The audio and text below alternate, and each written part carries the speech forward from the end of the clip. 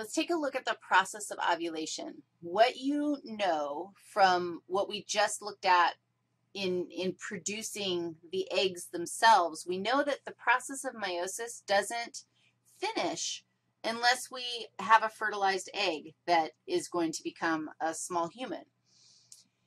However, we also know that there are 500,000 um, primary oocytes just chilling in your ovaries, chilling in your ovaries and experiencing everything that you are experiencing, which is why our uh, eggs can get old. Because everything that you do, everything you eat, all the chemicals you imbibe, all the poisons that you do, quit smoking, all of that stuff, even though you think, oh, I'll quit smoking when I have a kid, well, all of that stuff is affecting your ovaries, and it's affecting those cells that are frozen in meiosis, and the longer you expose them to all sorts of gnarly chemicals and what have you, the more likelihood there is to do some damage to those cells, to those egg cells. And it increases the risk of um, various genetic disorders as well as what? Genetic disorders and, oh, miscarriage. Yeah, there's something else I was thinking.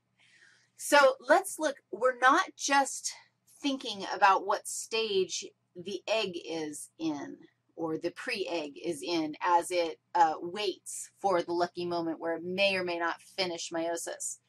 We also are going to take a look at an ovary and look at what's called a follicle.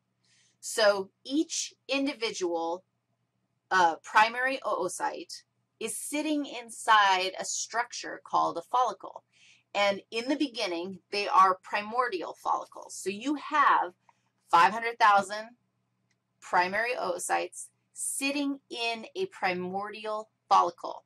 The follicle, you'll actually will look into a slide of an ovary. It's a mouse ovary or something. And so there's they're a little bit different than ours, just a little bit. But you'll see oocytes, the big cell right here in the middle, and then you'll see it actually surrounded by another layer of little cells. Now you tell me, just looking at this example, what kind of tissue is the follicle that's surrounding the cell? What would you say? Looks like simple squamous epithelium to me, and in fact, that's true. How'd I know that?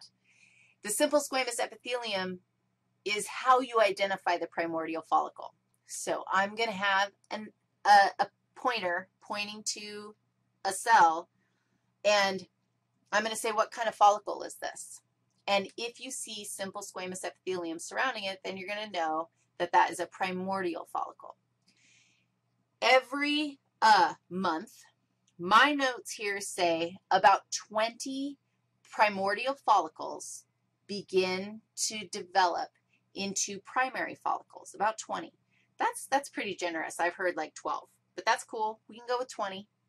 20 primordial follicles, which started out with simple squamous epithelium, start producing the, the lining, the follicle itself.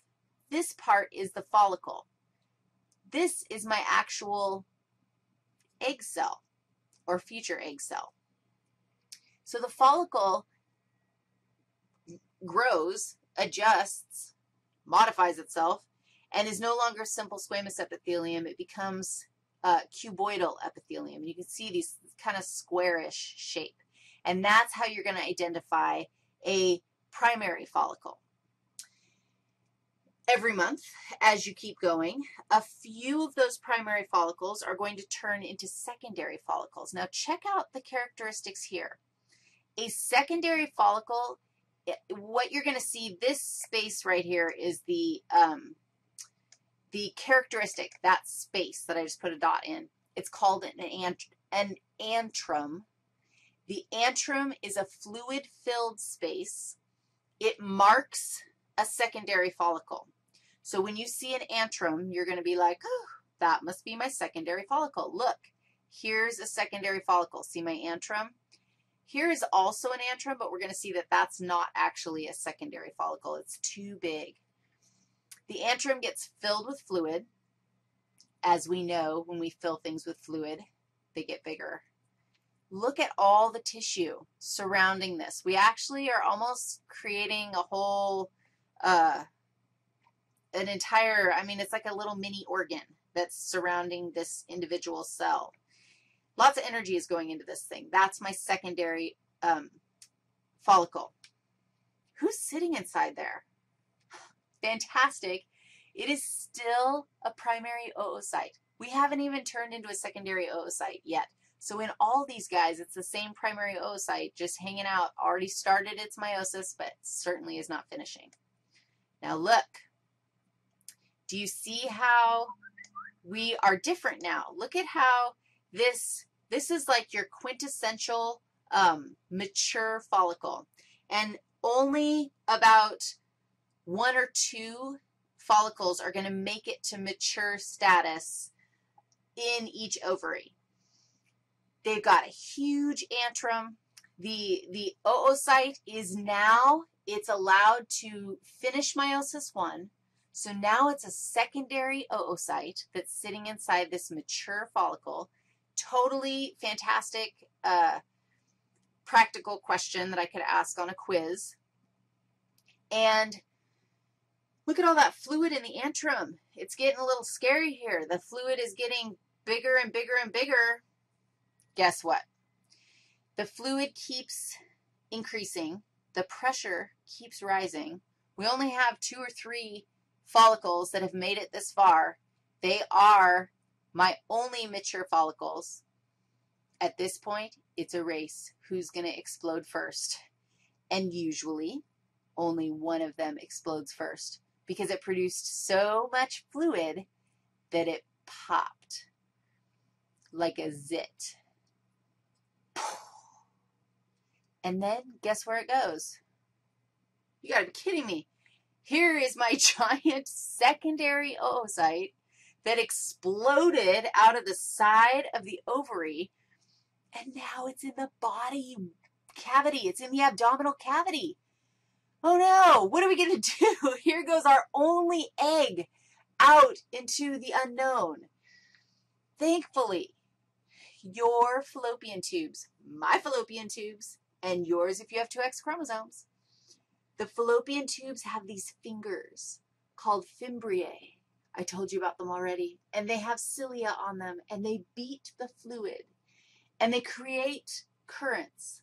And they say, Come to me, little egg, little secondary oocyte that just exploded like a popped zit out of the ovary. Come this way. It's very lovely in here. We have food for you. We will let you parasitize us. Maybe we will be lucky enough to have 500,000 suitors to see which one you like. Come on in. And indeed, most of the time, the egg makes it into the fallopian tube. And now the story isn't over. Of course not. And this is just a piece of the story because you know it gets crazier, and we'll talk about that in physio. The follicle used to be just this follicle, but then it gets like glandular. It turns into an endocrine gland. Kind of the whole thing's an endocrine gland. We won't talk about that too much. But basically, it turns into a structure called the corpus luteum. Only the exploded follicle turns into a corpus luteum. And then the corpus luteum produces hormones that last. It will survive for 12 days unless that little parasite does get lucky and embeds in your uterus, and then it starts to produce hormones that keep the corpus luteum alive, and then it'll stay alive for like three months until the placenta takes over. How cool is that? Now, you are going to get to look at slides, and you will identify all our different follicles, and you will tell me the stage that the cell is in in each of them. That's easy, isn't it? The last thing that we are going to do is talk about the different homologous uh, gross anatomy structures that we find in between males and females. Where did we come from? Where did we come from? Don't answer that question. I'll be right back.